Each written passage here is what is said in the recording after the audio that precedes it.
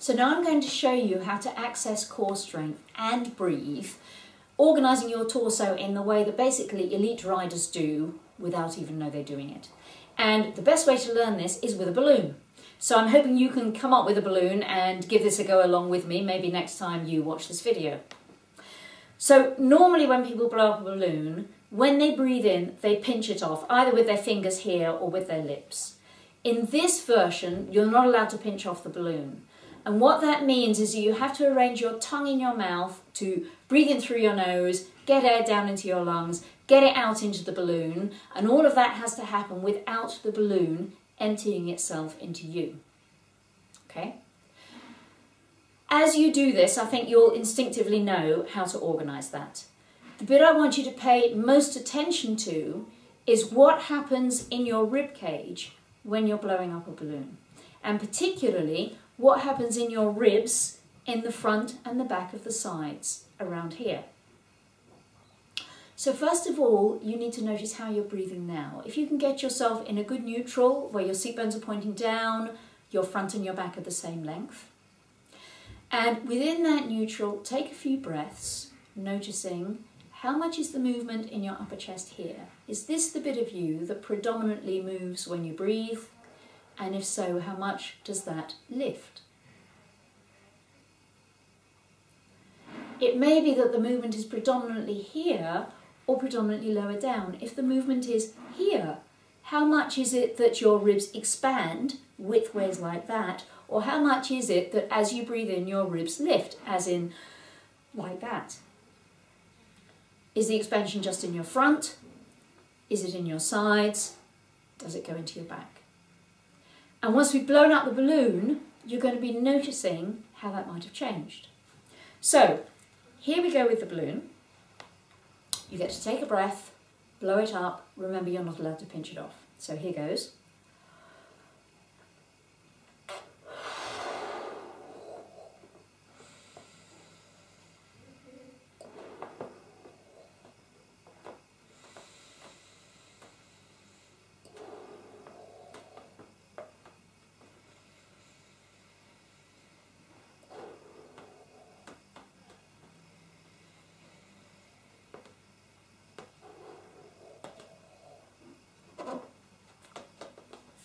Now I've blown out the balloon, I'm going to pinch it off and hold it at the moment and keep breathing in the same way.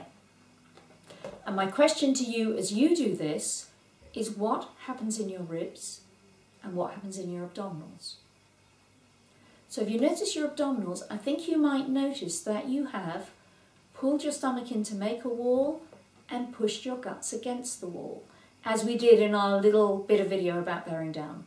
So that's accessed your core, just as clearing your throat makes you pull your tummy in to make the wall, push your guts against the wall. When I ask groups of people what happens in this case with their ribs, sometimes people tell me their ribs have really dropped down and in together. They're the people whose ribs would lift and flare with the in-breath. If you're still breathing like this, which I hope you are, notice what happens to your ribs on the out-breath. Do they collapse? Do you deflate? Or do you stay inflated? Our aim is that you stay inflated. So on a normal out breath, you'd actually go, as you let the pressure in your insides decrease. And if you were a singer, that would give you trouble because we're learning diaphragmatic breathing here, which is the same kind of breathing used if you sing or play a wind instrument. And by the time you go, ugh, you lose the note, you can't keep singing.